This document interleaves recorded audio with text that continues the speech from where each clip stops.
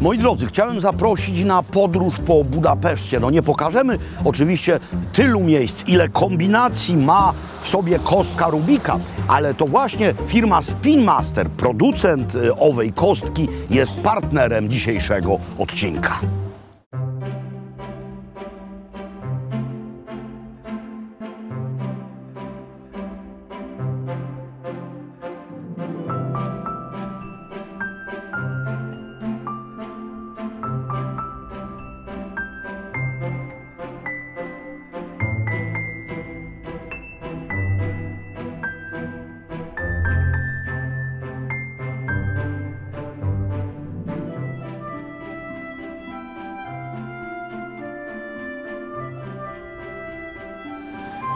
Moi drodzy, z niekłamaną radością chciałem Was powitać e, w Budapeszcie. Kiedyś jeździłem tutaj w ogóle na Węgry, niezwykle często, E, ale ostatnimi laty byłem tu tylko przejazdem. Ostatnimi laty, no mniej więcej lat 8. No bo wiecie, mieliśmy mieć Budapeszt w Warszawie, no to pomyślałem sobie, po co jeździć. No ale ta koncepcja zdaje się jest nieaktualna. No więc znowu tu jestem, z czego się niezwykle cieszę, bo przecież abstrahując od wszelakich kontekstów i ma- miazmatów, Węgry to piękny kraj, a tutejsza kuchnia i gastronomia są jedyne w swoim rodzaju. Zatem dzisiaj będziemy pokazywać Wam w Budapeszcie to wszystko, co koniecznie tutaj zobaczyć trzeba. A zaczynamy od tego właśnie miejsca.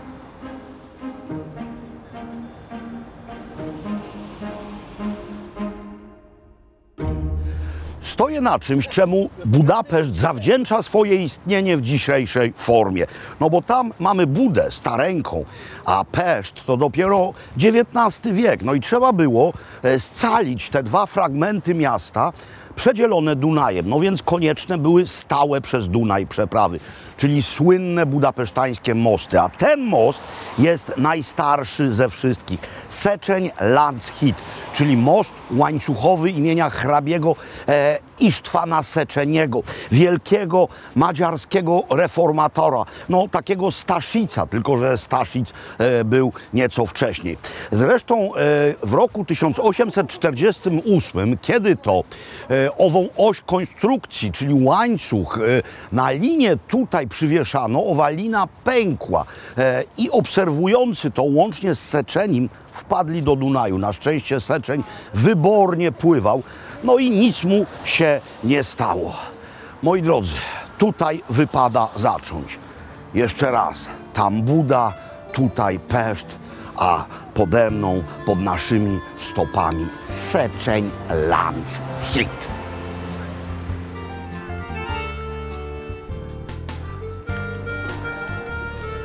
Czym dla Wiednia cukierniczo są Demel albo też Zacher, tym dla Budapesztu jest Żerbo.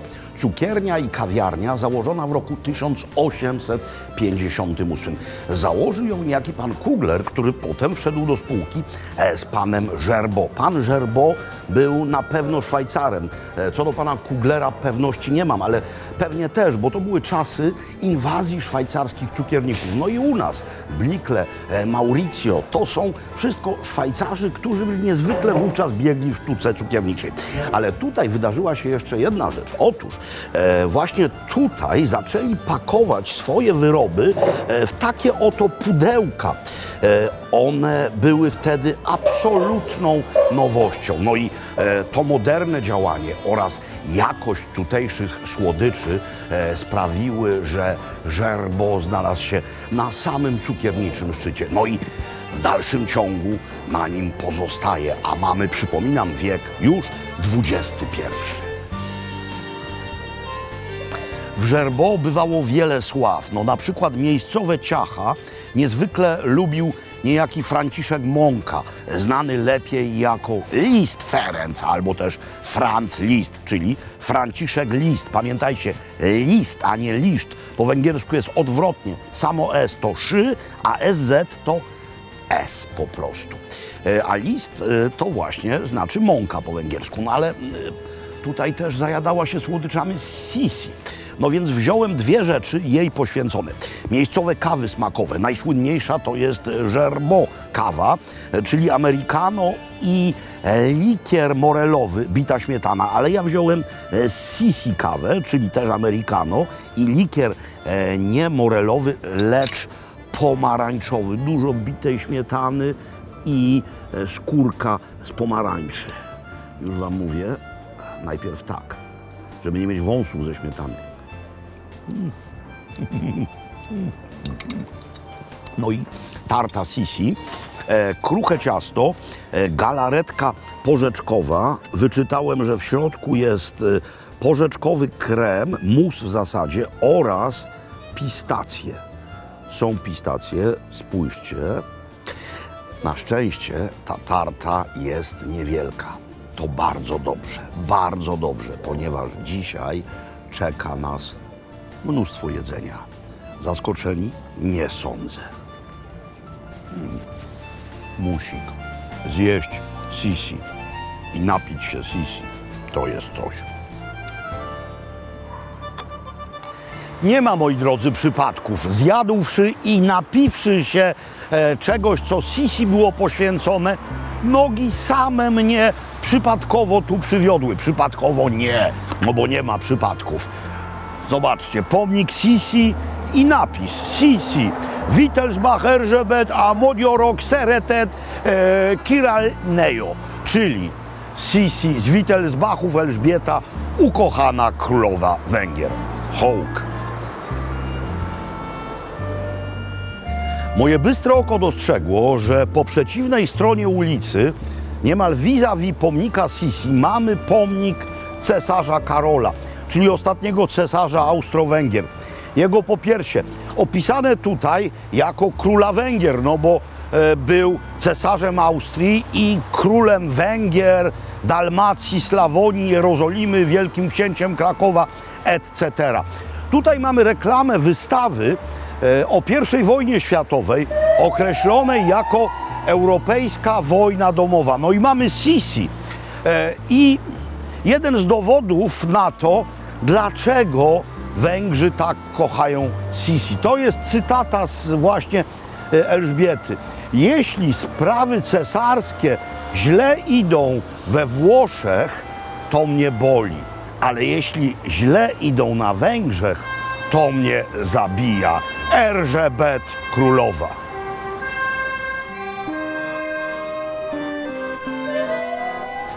Można powiedzieć, że mój spacer odbywa się niejako śladami bywalców cukierni Żerbo. No bo mieliśmy przed chwilą pomnik Sisi, a tutaj mamy wielką synagogę. Wielką synagogę, w której to na organach grywał e, Ferenc Liszt. Liszt Ferenc. E, wielka, bo rzeczywiście największa w Europie. Trzecia co do wielkości na świecie.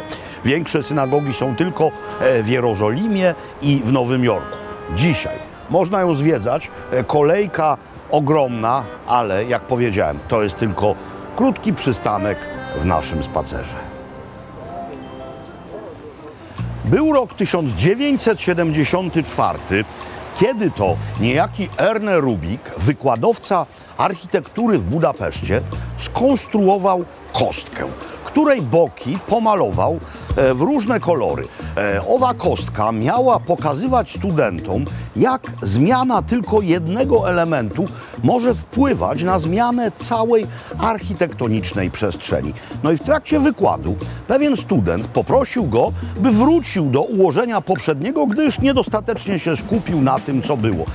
No i wówczas to Rubik zaczął kręcić kostką i okazało się, że nie jest w stanie przywrócić poprzedniego ustawienia. Miesiąc mu zajęło, zanim mu się to udało. Zrozumiał, że wynalazł coś niezwykłego.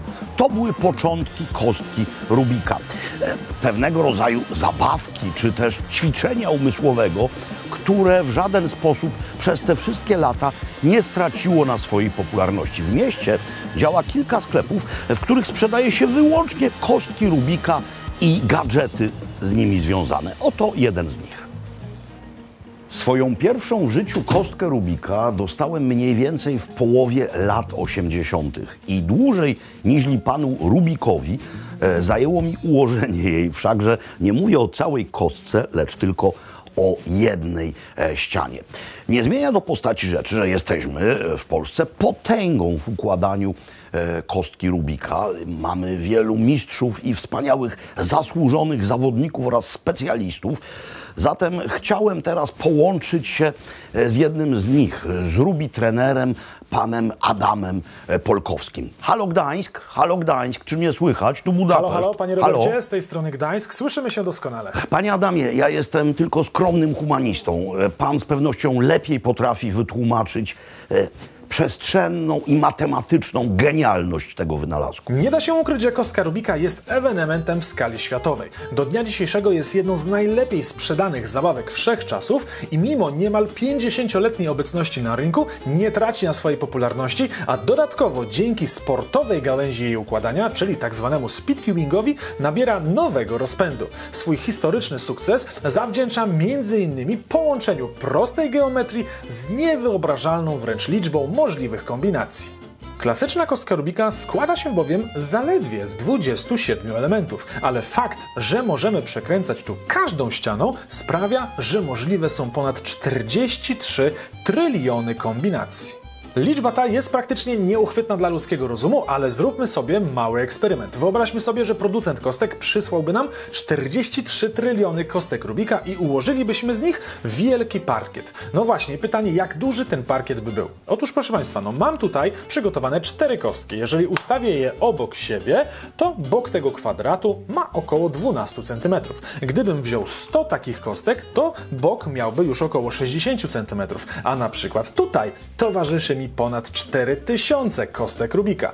Zatem pytanie, jak duży byłby ten parkiet? Otóż proszę Państwa, swoją powierzchnią przekroczyłby całą naszą planetę i co ciekawe, nie byłaby to jedna warstwa, ale aż 275 warstw wokół całej naszej planety. Sprawia to, że bardziej prawdopodobne jest to, że na pustyni ugryzie nas rekin, niż to, że po losowym wymieszaniu kostki Rubika dwa razy napotkamy to samo ustawienie.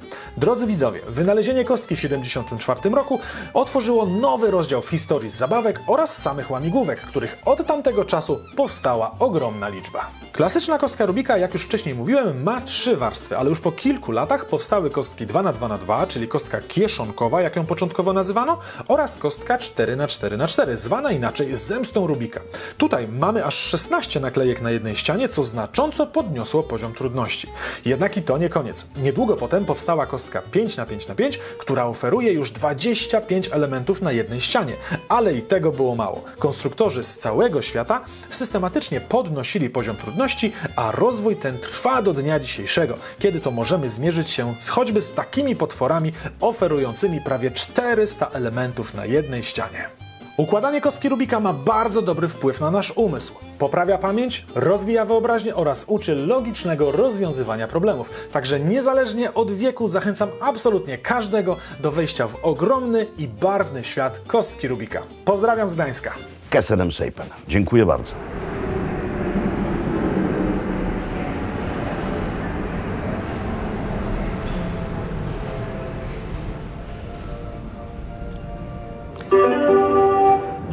Vigyázzanak, az ajtók záródnak. Budapesztańskie metro, no to nie są przelewki, jest to bowiem najstarsze metro kontynentalnej Europy. E, Starsze jest tylko metro londyńskie.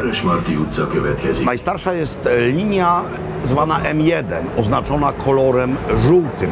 Co niezwykle ciekawe, zaczęto ją budować w roku 1894, a warunkiem koncesji na budowę było to, że zostanie ona ukończona i linia zostanie oddana do użytku już dwa lata później, w roku 1896. To był rok niezwykle ważny. Wtedy Węgrzy obchodzili tysiąc lat objęcia ojczyzny. Vörösmarty utca.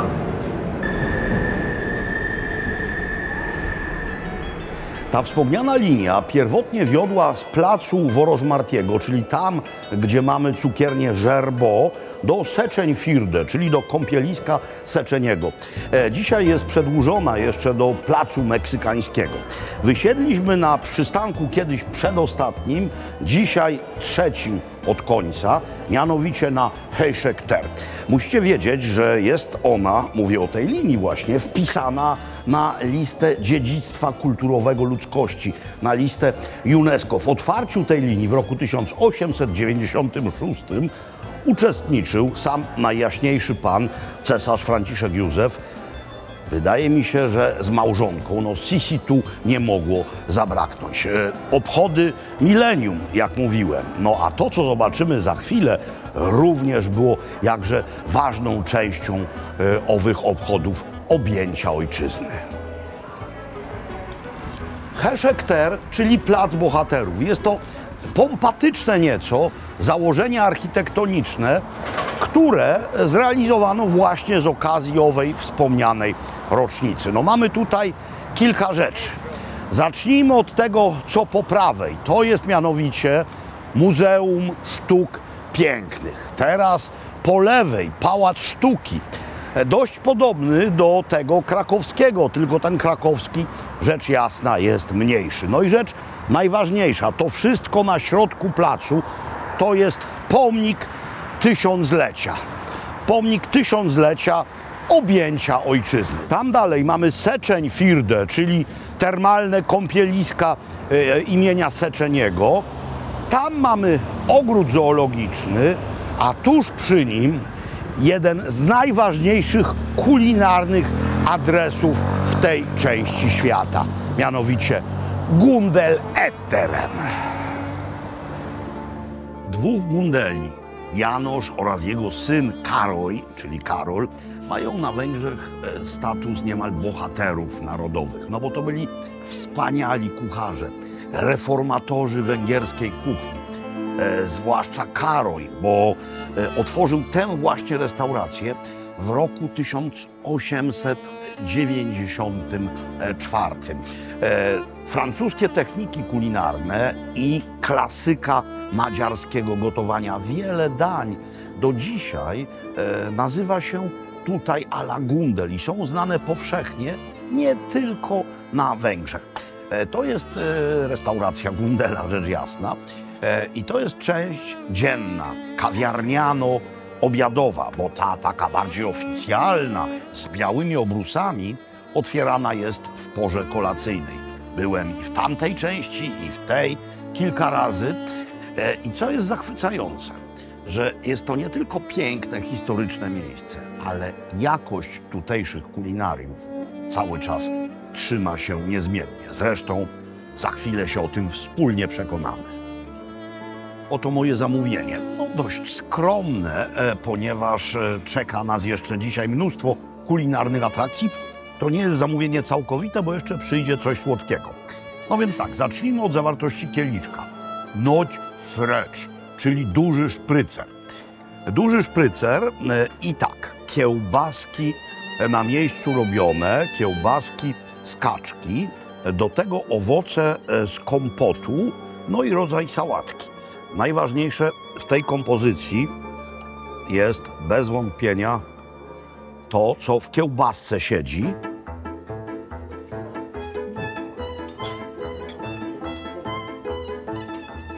Ekstra rzecz. Namajerankowana, ale bez przesady, leciutko czosnkowa, soczysta i chrupiąca. To jest no, emblemat, czyli e, pasztet e, z gęsich wątróbek w galaretce z tokaja asu. Do tego e, rodzaj konfitury z pigwy, no i tokajskie rodzynki. Uszknę odrobinkę. Do tego taka piękna, słodka, jak mnie mam brioszka. Poezja. No i zupa. Jaka zupa? Holasle. E, zupa rybna, bo e, hol to ryba. E, dwa rodzaje jej, mianowicie karp oraz fogarz, e, czyli szczupako-podobna ryba, która pływa jedynie w Dunaju, Cisie, e, no i w ogóle w tej okolicy.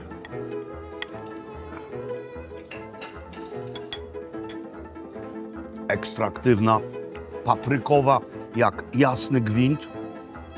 E, Są tutaj też, jak e, w chorwackim fisz paprikarzu e, z barani albo slawoni, fragmenciki makaronu. To nie jest taka porcja gargantuiczna, tylko elegancka zupa, którą można zjeść jako zupę, a nie główne danie. No i moi drodzy, to na razie tyle, ale będzie coś jeszcze. Naleśniki a la Gundel, no byłoby prawdziwym grzechem nimi nie zakończyć. Ale wracając jeszcze do tego, co było wcześniej, mówiłem o owocach z kompotu. Rzeczywiście była tam jabłkowa, kompotowa słodycz, ale przede wszystkim na dole były jeszcze ziemniaki. No i smak tej zupy rybnej. Ona była przecierana, ekstraktywna tak, że całe moje jestestwo w tej chwili wypełnia ów e, potężny smak. Filety z karpia i z fogasza na sam koniec włożone, a reszta przetarta, napaprykowana niemiłosiernie. No a teraz kompletnie zmienię diapazon uczuć. Przejdę z napaprykowania, z ostrości do słodyczy. Jakimś trzeba e, było być geniuszem, by wpaść na przecież e, teoretycznie niezwykle prosty pomysł. No, mamy mianowicie palacinta, czyli zwykłe naleśniki. Wystarczy tylko dodać nieco cukru, e, pudru, najlepiej do ciasta, by te naleśniki były bardziej chrupiące. Wystarczy zwilżyć farsz e, z włoskich orzechów rumem i wystarczy zrobić porządny sos na bazie gorzkiej czekolady, by uzyskać deser ekstatyczny po prostu.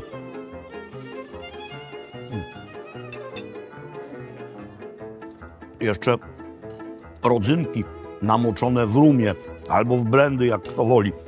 Oczywiście naleśniki a la Gundel podają niemal wszędzie na Węgrzech, ale jakże często ten sos to jest po prostu taki gotowy sos z plastikowego słoika, który z prawdziwą czekoladą niewiele ma wspólnego. A jak się zrobi to tak, jak kazał sam mistrz Gundel, to osiągamy coś absolutnie wyjątkowego.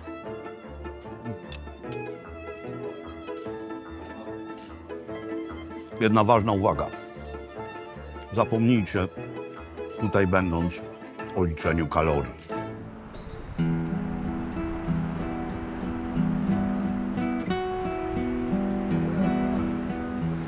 Większość ulic w Peszcie wytyczano w XIX wieku.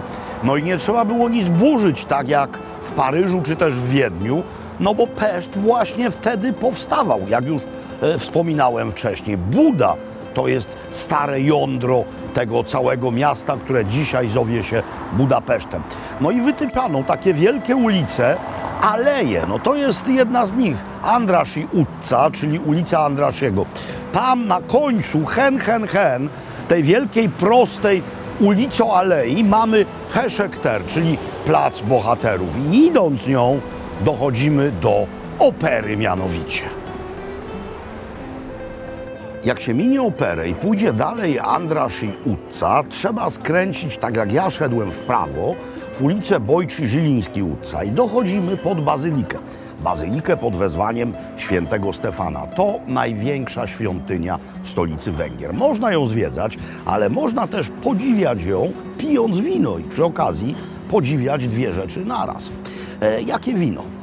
Kadarka. Wspaniały szczep. Niezwykle w Polsce nie bójmy się tego słowa, sprostytuowany przez ohydne, najczęściej bułgarskie, słodkie napitki. Tymczasem jest to szczep o ogromnym potencjale.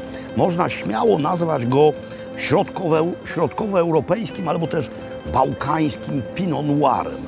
E, Seksart e, na Węgrzech to jest e, fantastyczne dla kadarki terroir. Zobaczcie, jaki ona ma podobny do Pinota kolor. No jest przejrzysta, to nie jest rosé, to jest wino czerwone, a widzimy poprzez kieliszek, co się dzieje po drugiej kieliszka stronie. No i wspaniały nosy. Znowu nieco Pinota przypominający, no bo też jakby nieco truskawkowy.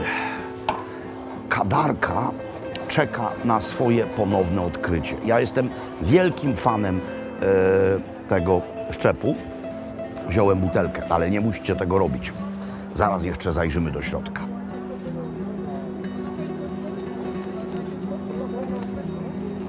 Mówiłem, że nie musicie brać całej flaszy, ponieważ mają tu niezwykłą ofertę win na kieliszki. Wszystko wywieszone na ścianie. Najpierw generalny podział peszgek, e, czyli wina metodą szampańską, a potem już regiony i producenci. No i kolory e, na tych kosteczkach, które oznaczają, czy jest to wino białe, czerwone, czy też różowe. E, Mamy tutaj wszystkie dzisiejsze węgierskie regiony winiarskie. Mamy też jeden, e, który na Węgrzech nie jest. Był na Węgrzech historycznych, ale działają tam węgierscy winiarze. To jest mianowicie Erdej. Erdej to po prostu siedmiogród wel Transylwania. No i zobaczcie, wszystko również na kieliszki. Cena najpierw kieliszka, potem cena butelki. No, żyć, nie umierać.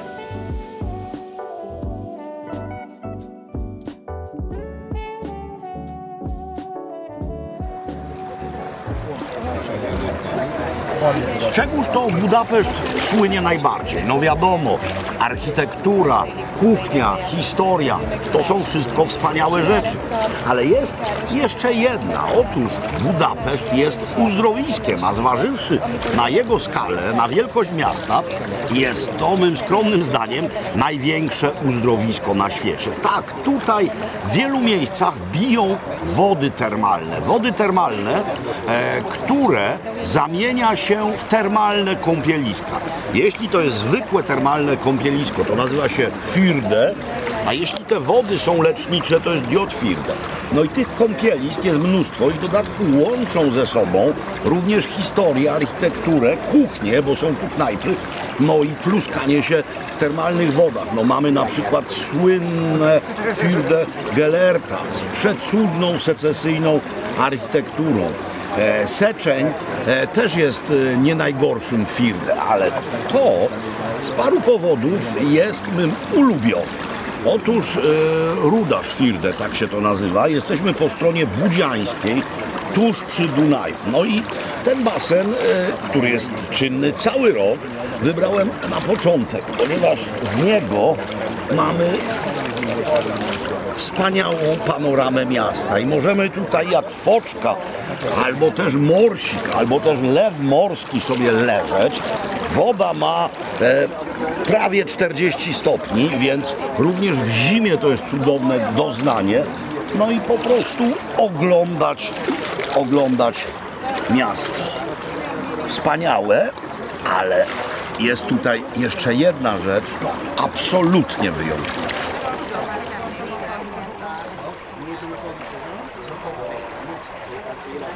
Ta część jest tak samo piękna jak basen na tarasie, a z historycznego punktu widzenia cenniejsza. Jesteśmy bowiem e, w dawnej, oryginalnej tureckiej łaźni w Hamamie z XVI wieku. Pamiętajcie, że Turcy władali Budą przez 150 lat. Pesztu wtedy jeszcze nie było. No więc e, tam są parowe łaźnie, tutaj centralny basen i oryginalna kopuła z czasów osmańskich. E, to jest czynne z reguły od 6 rano. E, Są dni koedukacyjne, ale są też specjalne damskie albo męskie. Wówczas nie trzeba nosić kostiumów, gaci, dostaje się tylko zapaskę na biodra. No i miejscowi kochają taplać się w wodach termalnych. Jak się w nich siedzi, to człowiek robi się głodny. No więc one potem wychodzą, e, jedzą tłuste rzeczy e, w papryce albo też w panierunku, popijają to unikum, palinką albo winem.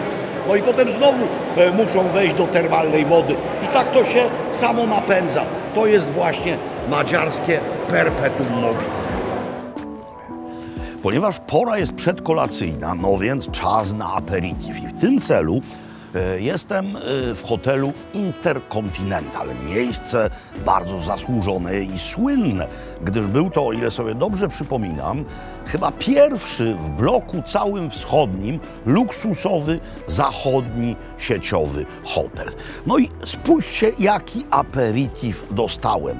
Mam mianowicie trzy kostki. Ta w środku to jest oryginalna kostka Rubika do układania. To jest kosteczka e, galaretkowa w środku z rumem, a to jest kostka puchar, pochar, jakby powiedzieli Węgrzy, e, z koktajlem, który został stworzony specjalnie na 50-lecie stworzenia, wymyślenia przez pana Rubika kostki, e, które za rok właśnie przypada. Kompozycja bardzo ciekawa, trzy rodzaje rumu, do tego sok z limetki, imbir, rzecz niezwykle orzeźwiająca. Myślę sobie, że to jest dobra okazja, by jeszcze raz połączyć się z panem Adamem. Halo, halo, halo, tu Budapeszt, halo Gdańsk. Halo, halo, dobry wieczór, panie Robercie, słyszymy się doskonale. E, Panie Adamie, e, jak najlepiej nauczyć się perfekcyjnie układać kostkę Rubika? Zacznijmy od obalenia popularnego stereotypu, że całą kostkę Rubika mogą ułożyć jedynie geniusze albo wybitnie uzdolnieni matematycy. Absolutnie tak nie jest i jeżeli tylko przełamiecie Państwo ten pierwszy opór, że ojej, na pewno nie dam sobie z tym rady, to tak naprawdę już połowa sukcesu. Kostka Rubika jest oczywiście wymagającą łamigłówką, ale odpowiednio wytłumaczona oraz podzielona na mniejsze kroczki jak najbardziej da się ułożyć niezależnie od wieku. Najmłodsi polscy zawodnicy to zaledwie pięciolatkowie, a najstarsi spokojnie mogliby być ich prapradziadkami. Oczywiście kilka minut to za mało, aby nauczyć Państwa całej kostki, ale zrobimy sobie mały test, który zawsze robię wszystkim początkującym zawodnikom. Jestem przekonany, że zachęci on Państwa do spróbowania swoich sił z ułożeniem całej łamigłówki. Mam tutaj przygotowany przykład sprawdzający umiejętność przestrzennego patrzenia na kostkę. Mamy jeden kolor bez jednego narożnika, który znajduje się w tym miejscu. I teraz musimy sprawdzić, jaki jeden ruch sprawi, że ta biała naklejka przesunie się w to miejsce. Mamy dwie opcje. Pierwszą jest ruch pionowy, tak, sprawdzamy. No, narożnik wsunął się w dobre miejsce, ale niestety białym kolorem do boku. To nie jest dobra sytuacja. W takim razie zobaczmy ruch poziomy. Czy teraz widzicie, co się stało? Oczywiście, biała naklejka jest na miejscu, ale domyślam się, że zdecydowana większość z widzów mówi teraz hola, hola, robi trenerze, fajnie, że białe weszło na miejsce, ale co z tymi dwoma białymi klockami, które się zepsuły? Jeżeli macie taki wniosek, takie pytanie w głowie, to doskonały znak. Zatem jak sobie z tym poradzić? Jeżeli coś przeszkadza nam we włożeniu naszego elementu, tak jak te dwa klocki, musimy zabrać je z tej linii strzału, tak? Zabrać je z górnej warstwy. Kostka of oferuje masę ruchów, a my wykorzystamy taki. Zabierzemy te nasze dwa klocki na dół i teraz myślę już doskonale widzicie, co trzeba zrobić. Swobodnie wkładamy nasz narożnik na miejsce, nic złego się tutaj na dole nie stało i możemy wrócić tym ruchem na górę. Biały kolor zrobiony. Zobaczmy jeszcze jedną sytuację tego typu. Tym razem nasz biały klocek jest w tym miejscu, musimy włożyć go tutaj. No i znów mamy do dyspozycji dwa ruchy. Ruch poziomy, no ale już widać, że nie pasuje, ale już się pewnie domyślacie. Teraz ruch pionowy również będzie pasował i ta sama zasada. Psują nam się te dwa elementy, więc musimy zabrać to wszystko z linii strzału. Tym razem zrobimy to tak. I zobaczcie, swobodnie możemy włożyć teraz biały element i ponownie biała ściana zrobiona. Jeżeli zrozumieliście Państwo przedstawiony przed chwilą przykład logicznego przesuwania elementów na kostce, to spokojnie poradzicie sobie z ułożeniem całej łamigłówki. Z tego miejsca zapraszam na mój kanał YouTube Ruby Trainer, na którym w autorski, nietypowy sposób uczę rozwiązywania popularnych łamigłówek, a wśród nich klasycznej kostki Rubika 3x3. Już kilkaset tysięcy osób skutecznie przeszło ze mną tę przygodę, więc niezależnie od wieku, miejsca zamieszkania ani wykonywanego zawodu, podejmijcie wyzwanie i wspólnie pokonajmy tę legendę. Do zobaczenia i pozdrowienia z Gdańska. I wszystko jasne. Moi drodzy, jesteśmy teraz po drugiej stronie Dunaju w Budzie i mamy tutaj wśród bloków z wielkiej płyty fragment miasta, który wygląda tak jak 100 lat temu albo i dawniej. Na koniec chciałem pokazać Wam absolutną gastronomiczną klasykę, choć wcale nie tak bardzo znaną wśród turystów. To miejsce nazywa się Kelly Vendegle i działa nieprzerwanie od roku 1899.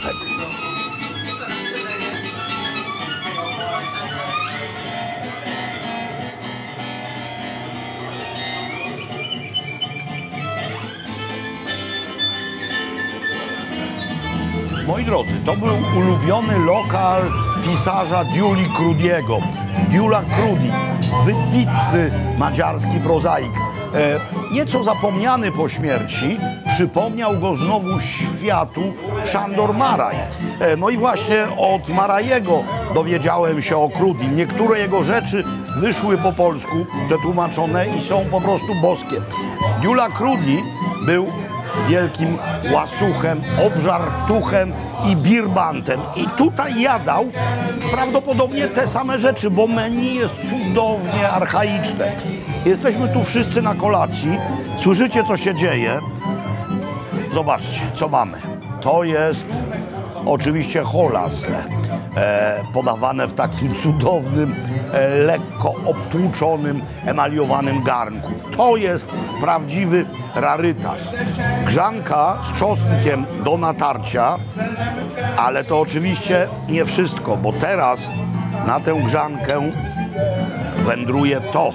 A co to jest? Słuchajcie, dietetycznie samo zło, a kulinarnie i smakowo samo dobro, czyli kość szpikowa po prostu. Czyli wnętrze tego dymiąco, Jezu, na parzy jeszcze, a!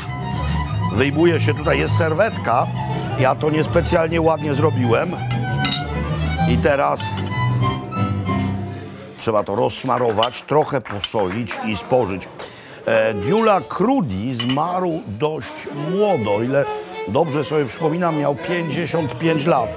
No, e, nikt nikomu nie obiecuje długiego życia, jeśli codziennie będzie jadał kości szpikowe, ale raz na jakiś czas, raz na jakiś czas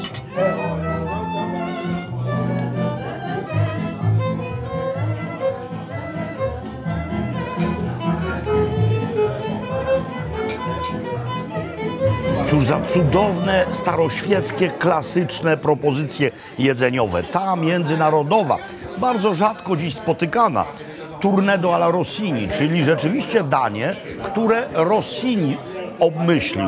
Mianowicie mamy e, medalion e, z polędwicy wołowej, Tournedo właśnie, na tym plaster foie gras, do tego sos, który jest redukcją na bazie słodkiego wina. W oryginale to jest y, Madera, ale może to być słodkie, likierowe, czerwone wino. Jest y, grzanka, y, ona powinna być z grzybami, no i czasami tutaj jeszcze są trufle, do tego ziemniaczane krokieciki, a to jest staroświeckość, klasyka lokalna, mianowicie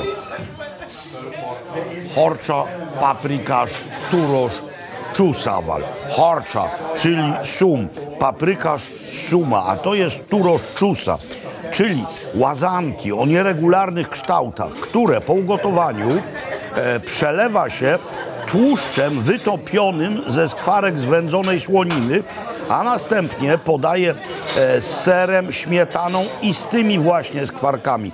I powiadam wam, że jest to jedno z moich w ogóle ulubionych dań. E, tak, to jest ryba, ale nie jest to rzecz dietetyczna. Cudowna po prostu. Moi drodzy, jak e, wypada zakończyć ów dzień? No tylko jednym apelem. Tournedo Rossini, Harcza Paprikasz Turo Czusawal, e, Diula Krudi, e, Szandor Maraj, więc jedzcie dobre rzeczy i czytajcie dobre książki. Alien Harcza Paprikasz, Alien Modior Końcha.